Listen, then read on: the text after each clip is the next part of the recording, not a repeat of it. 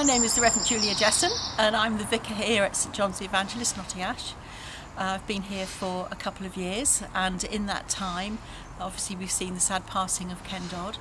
uh, but the wonderful thing is that his memory and legacy is going to live on in the things that he's very graciously giving to us. So one of the things that we're really excited about in the next couple of weeks, the clock here um, at St John's is going to start telling the time for the whole community and ringing out the hours. And I think that it's probably 30 years since uh, it was last working.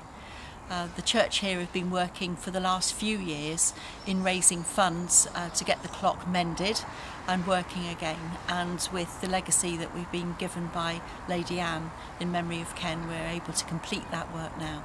So in about two weeks time, two or three weeks time we're hoping that the final work will be done and the scaffold will be down and everyone will be able to see the clock.